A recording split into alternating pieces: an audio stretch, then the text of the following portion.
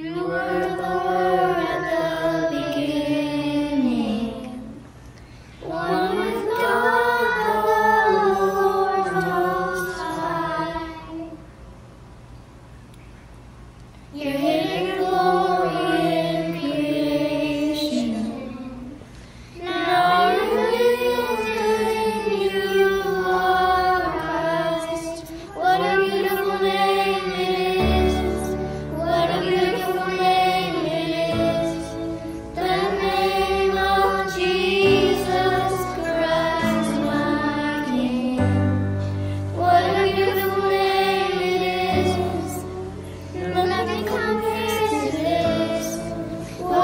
love